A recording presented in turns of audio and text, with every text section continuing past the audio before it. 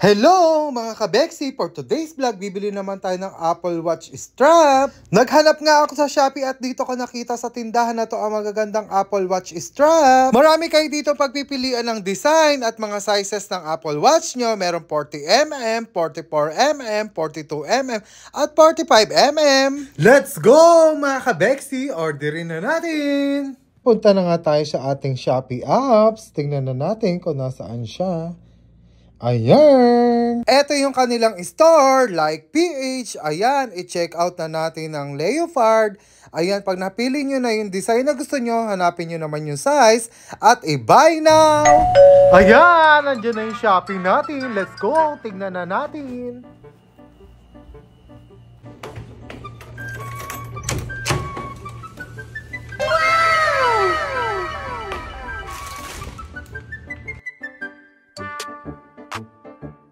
So mga kabeksi, ito na nga yung ating inaantay ng ubod ng tagal.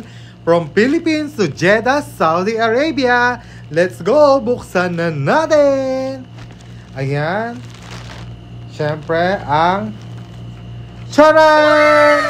Ang bongga niya mga kabeksi. Ayan na yung leopard na matagal nating inantay. So, let's go. Let's open it and try it. Ayan! Buksan na natin ang box, mga kabeksi. Excited na ako. Magchika muna ako sa inyo paano ko to na-order. Umorder ako sa Shopee, tapos pinadeliver ko sa amin sa Pilipinas. Tapos nag-antay ako ng pabalik dito sa Jeddah KSA para madala siya dito. Ilang buwan ko din yan inantay, mga kabeksi, kaya sulit ang aking pag-aantay. Napakaganda niya.